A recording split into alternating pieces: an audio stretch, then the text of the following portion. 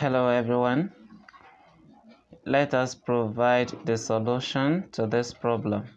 Okay, we have 2 over x multiplied by 2 over x equal to square root of 16 over 9.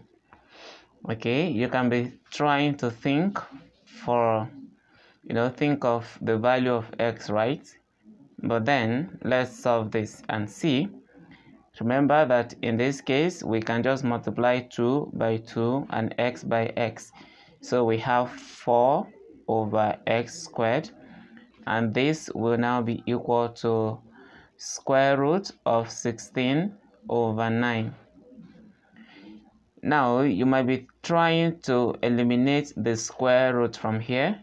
But then, 16 and 9 are both perfect square, right?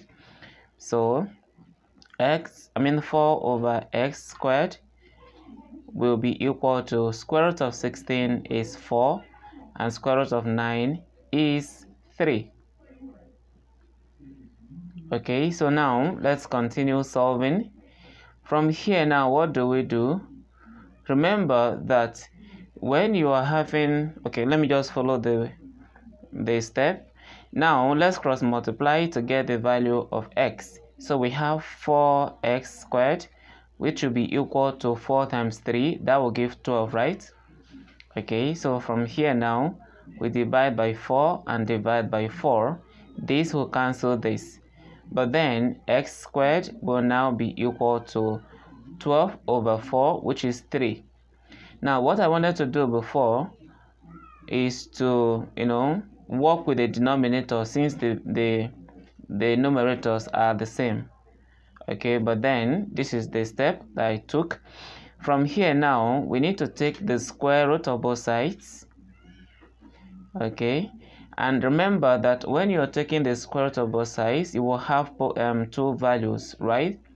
Which is um, plus or minus square root of 3 and from here this cancels this and x is now equal to um, plus or minus square root of 3 meaning that x is either equal to positive square root of 3 or negative square root of 3 and then if you put these two values okay into the problem what would you get? Let's check our answer and see.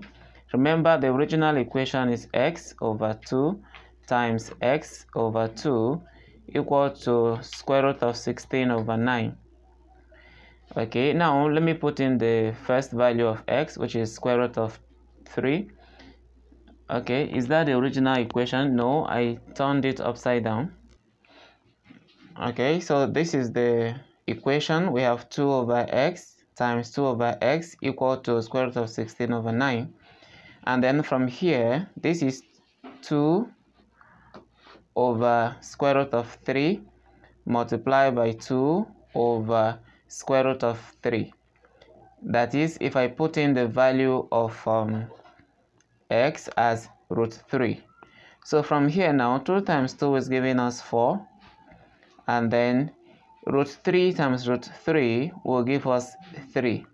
Because it will give us square root of 9, which will still give us 3.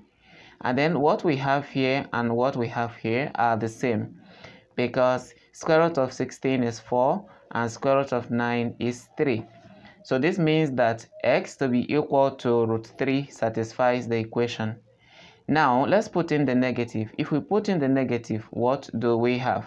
We're going to have um, 2 over square root of 3 but negative square root of 3 multiplied by 2 over square root. In, in fact it's um, negative square root of 3 right? Negative um, square root of 3 now let's deal with this.